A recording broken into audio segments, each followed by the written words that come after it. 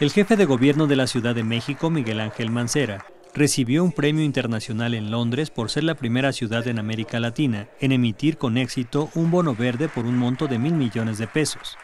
Tras la premiación de la iniciativa Bonos Climáticos, el alcalde de la ciudad habló de la importancia de este premio. Es un reconocimiento al trabajo de la Ciudad de México, es un premio que corresponde al primer bono verde que ha sido colocado por un gobierno local, en este caso nuestra ciudad. El bono verde, que es un instrumento de deuda, tiene como objetivo financiar proyectos de infraestructura hidráulica, eficiencia energética y transporte público.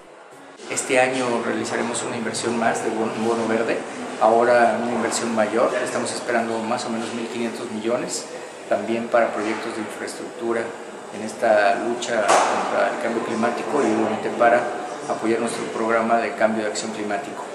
Tras una ceremonia en el histórico edificio de Will Hall, el embajador de Gran Bretaña en México, Duncan Taylor, felicitó al alcalde capitalino por el reconocimiento internacional.